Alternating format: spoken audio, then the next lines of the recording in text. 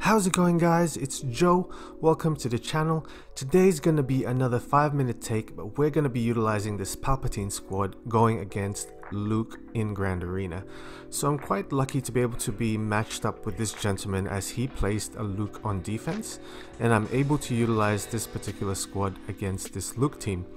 So the idea behind this is that Luke on his leadership reduces all your character's speed to his base speed which is pretty slow uh, however, we're utilizing this Palpatine squad here as his leadership doesn't rely on speed. Um, it relies more on turn meter gain. And having Bastila Shan here applies a ton of debuffs on the opposing team, which allows for us to gain a ton of turn meter. Having Nihilus here, um, we'll be able to get him pretty quickly to his Annihilate, and we're going to utilize that on Luke. So he's got a base here, he's got a Barriss with a Zeta, which will allow for them to be quite tenacious and quickly lose all the debuffs that we apply.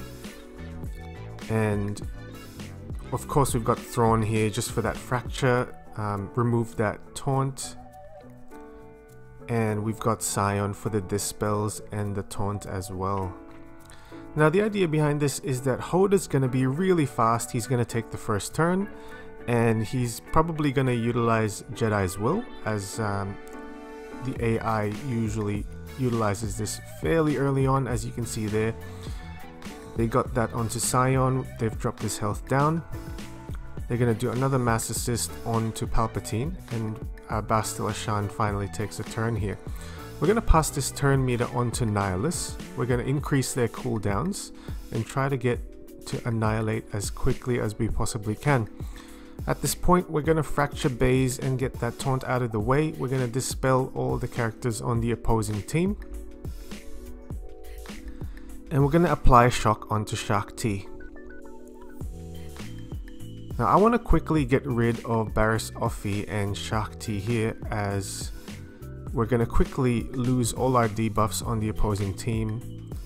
If Barriss is able to take a bunch of turns, we're just going to regenerate a bit of our protection and health there using, using our third ability. Barriss gets a heal off.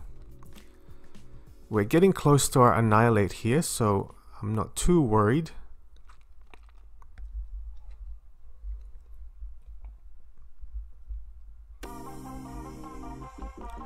And we get rid of Barriss Offee there. We gain a bit more of our health on Sion. And the next turn Thrawn takes should be a turn meter swap with Nihilus here, as we're able to annihilate Luke.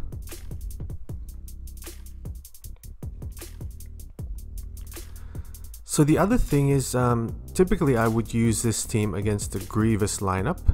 However, there's a ton of different counters for Grievous already, and um, I found this to be quite effective against Luke if you come across Luke in Grand Arena. I hope you liked the content today, please leave a like, comment and subscribe and I will see you guys on the next one.